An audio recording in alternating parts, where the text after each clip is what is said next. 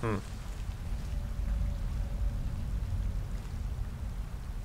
Ich könnte hierdurch sogar schon kämpfen. Aber ich sehe keinen Gegner, deswegen gehe ich einfach mal weiter.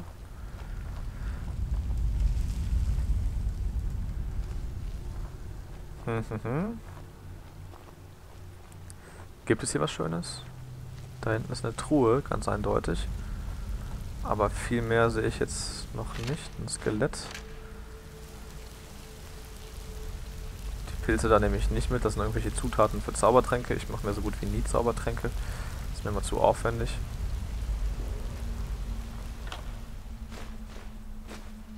So, jetzt kann ich mich entscheiden. Entweder gehe ich hier zum Wasserfall. Oh, ne, ich kann mich doch nicht entscheiden, oder?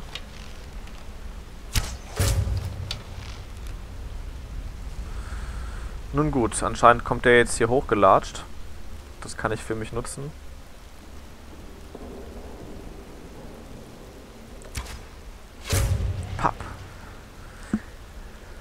So kämpft man richtig. Gold, Eisenpfeil. Perfekt, alles meins.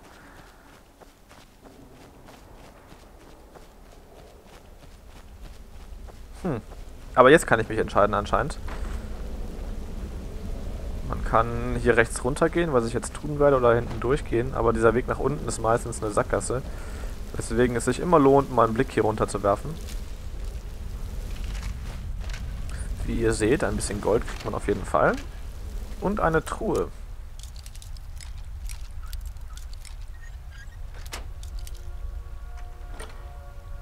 Perfekt. Pelzhelm nehme ich nicht mit.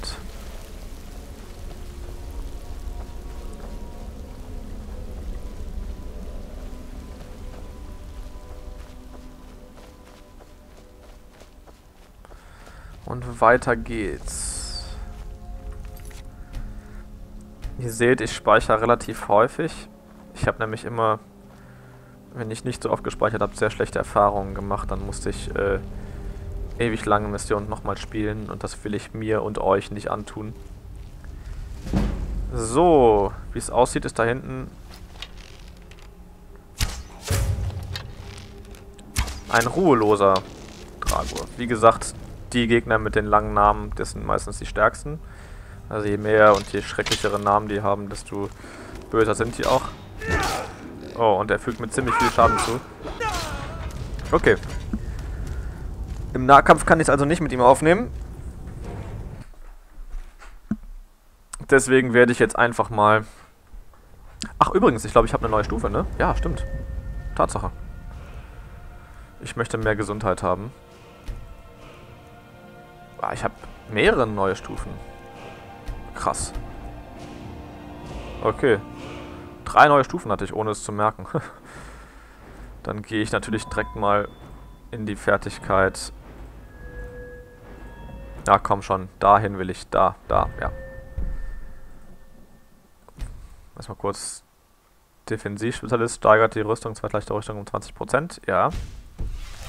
Oh, ich kann ja noch weitere. Ich wollte ja noch mehr machen. Schießkunst. Bögen bewirken 20% mehr Schaden. Perfekt, das kann ich jetzt direkt bei diesem Typen da anwenden. Und dann kann ich noch meine Schleichenfertigkeiten verbessern. Du bist beim Schleichen 20% schwerer zu entdecken. Perfekt. Das ist genau das, was ich bei meinem Charakter immer gerne mache. Hier die ganzen Skills, die ich da verbessere. So. Speichern. Ja.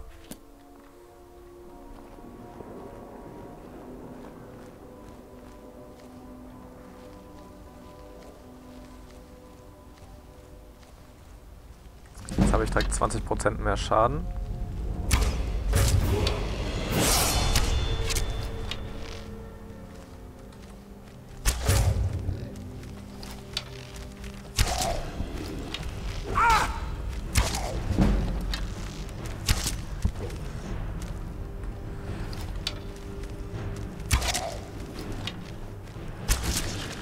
Und tot. Kann man sehen. Jemand, gegen den ich im Einzelkampf keine Chance habe. Einzelkampf. Ähm, den kann ich mit dem Bogen richtig schön fertig machen. Sind ja noch mehr Gegner? Ne, sieht friedlich aus. Aber hier sind bestimmt irgendwo versteckte... Ja, ich sag's doch. Versteckte Truhen.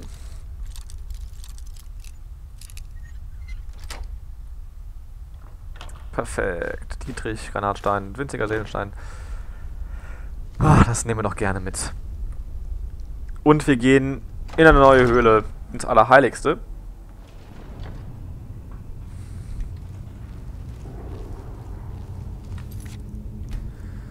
Da bekommen wir direkt mal einen neuen Speicherpunkt. Kann ja nicht schaden. So.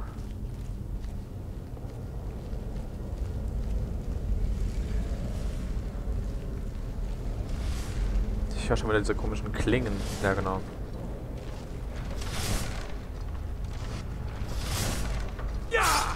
Oh. Oh oh.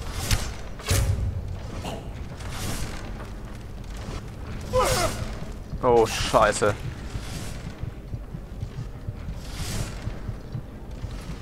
Nochmal kann ich jetzt nicht hier durchlaufen.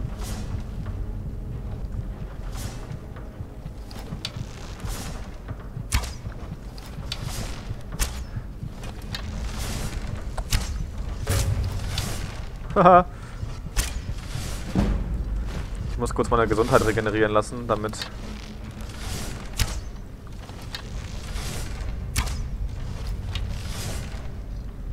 Nein, komm hier hin. Hier bin ich doch. Ja.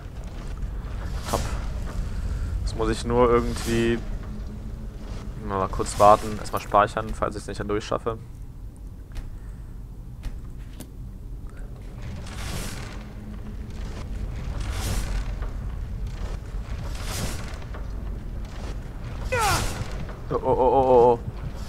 Ich hab's aber geschafft. Es war arschknapp, aber ich bin nicht gestorben. Jetzt muss ich allerdings ziemlich vorsichtig sein. Und erstmal mein Leben wieder regenerieren lassen. Weil ich nämlich nicht mehr so viel Tränke habe, die muss ich aufbewahren. Nicht für so scheiß Messer da verschwenden. Das hilft doch alles nichts. So. Zwei tote Gegner.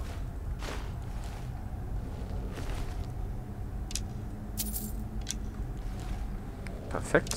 Pfeil. Da unten wollen wir nicht rein, da würden wir nicht mehr rauskommen.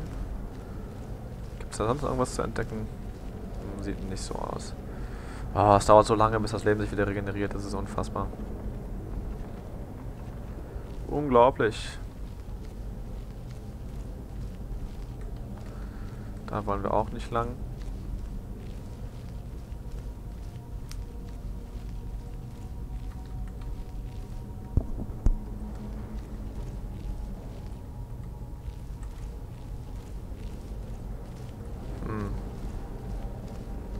Irgendwie habe ich Angst, wenn in so großen Räumen so wenig Gegner sind. Ich habe immer Schiss, dass da aus irgendeiner Ecke einer rauskommt und mich dann von hinten umbringt quasi. Aber... Ah. Perfekt, okay, wir sind angekommen.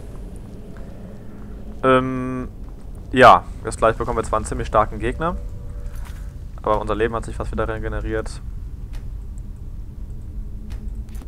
Und wir sind an der Tür, an der geheimnisvollen Tür. Und jetzt kleine Info vorab. Das Rätsel hier ist eigentlich mega einfach. Wenn ihr euch an das Tagebuch erinnert, da steht, ihr habt die Lösung in der Hand, wenn ihr die Klaue besitzt. Ich war hier in dem Raum, hatte die Klaue. Man kann die Klaue hier reinstecken und versuchen die Tür zu öffnen, aber es passiert nichts. Und ihr seht hier diese tollen Tiersymbole an diesen Kreisen. Und ich bin hier lang gelaufen. Hier an der Wand sind nämlich so Tafelungen mit äh, ja, ich habe versucht, da irgendwelche Zeichen rauszulesen und zu gucken, welche Tiere das sind, weil hier sind ja Eulen und so ein Scheiß. Und hier, was war hier? Hier ist ein Wolf oder so. Und dann dachte ich mir, okay, das muss ja irgendwie mit den Wänden zusammenhängen. Guckst du mal, welche Reihenfolge und so. Und ich habe es echt nicht gepackt, ne? Ich habe es nicht rausgefunden. Und im Prinzip ist es mega einfach. Ihr geht einfach in euer Inventar. Zu den sonstigen Gegenständen, wo auch die goldene Klaue ist. Und dann guckt man die sich hier einfach mal im Inventar an und aha, Inhaltsklaue selbst. In der Hand quasi. Haben wir oben Bär, Motte und Eule. Ganz einfach. Und ich habe da stundenlang rumgerätselt.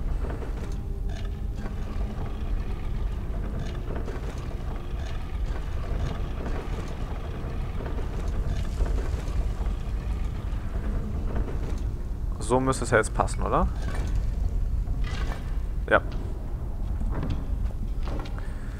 Und die Tür geht auf. Das war schon das Rätsel. Mega einfach und ich habe stundenlang daran rumgerätselt und es dann schließlich durchs Internet rausgefunden, weil ich zu blöd war, da selbst drauf zu kommen. Ja, könnt ihr mal sehen, wie ehrlich ich bin. Das hätte ich ja einfach mal verschweigen können, aber so viel Dummheit muss einfach bestraft werden. Okay. Direkt mal speichern hier. Man weiß ja nie.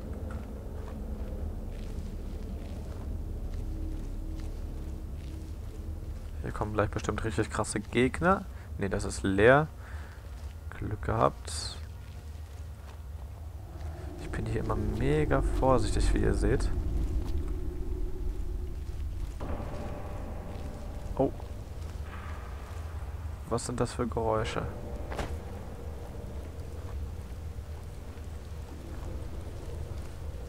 Ich habe Angst, ich will nicht sterben. Okay. Gegner sehe ich aber nicht.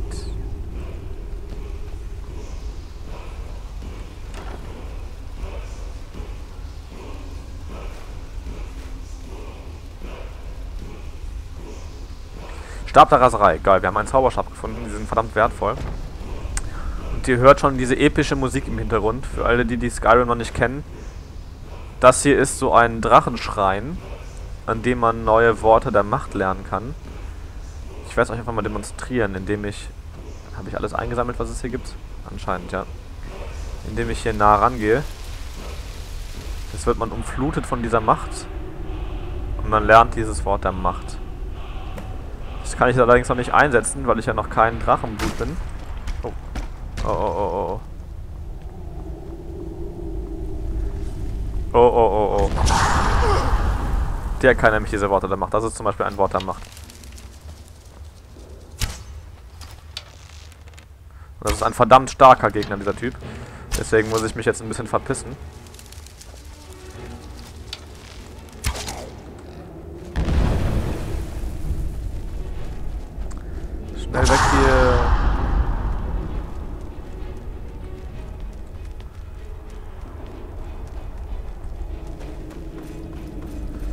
Stimmt ja, ich kann ja sprinten. Wieso vergesse ich das immer?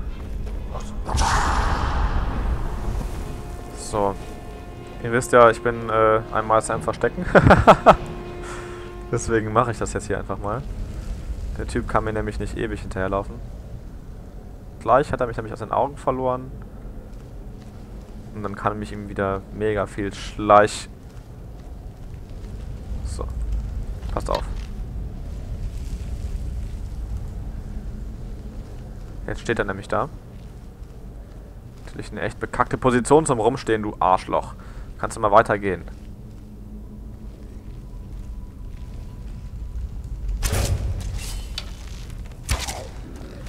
Und jetzt schnell wieder weitersprinten. Oh, oh, oh, fuck. Ich brenne, ich brenne, ich brenne, ich brenne, ich brenne. Ich brenne. Scheiße. Was hab ich das denn erst gemacht?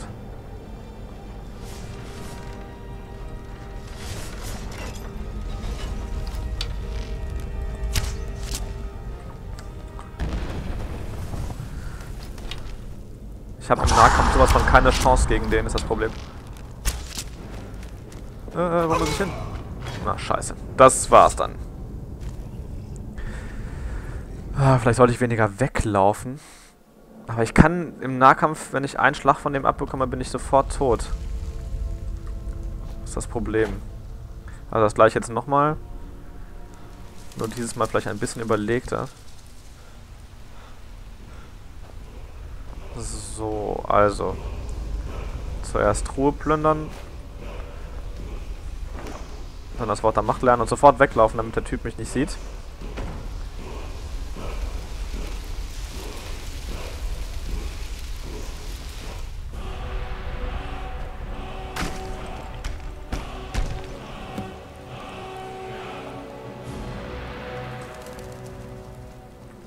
So, und schon bin ich unentdeckt speichere ich hier mal. Und dann versuche ich den Typen da mal auf Entfernung kalt zu machen. Der ist nämlich so verdammt stark, dieses Arschloch.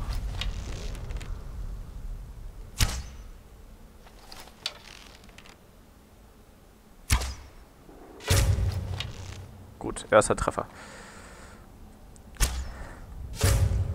Zweiter Treffer.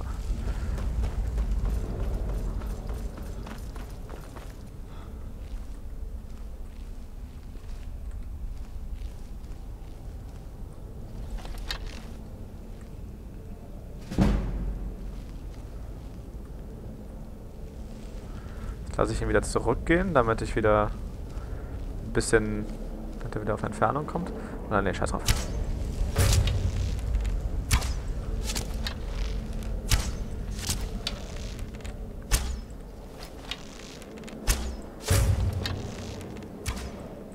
Pop!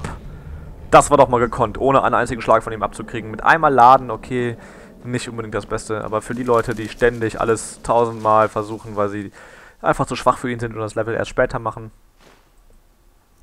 Tja, so geht es ziemlich einfach. Ach, nee, nee, nee. Was wir gerade gefunden haben, frage ich mich gerade. Wir haben einen Drachenstein gefunden. Mit dem kann ich jetzt allerdings nichts anfangen. Kann ich ihn rauswerfen? Ne, ist ein Questobjekt. Ah. Okay, ist ein Questobjekt zu einem Quest, den wir noch nicht kennen.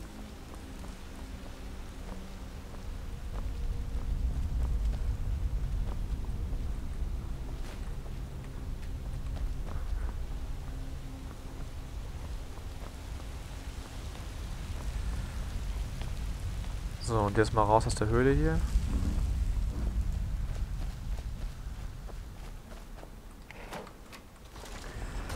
Ein versteckter Gang.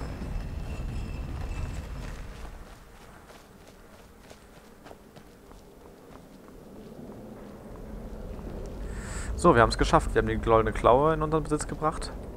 Wir haben das Geheimnis gelüftet und wir sind aus der Höhle raus.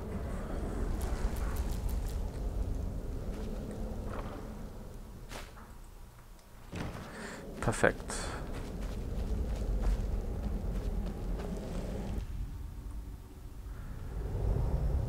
So.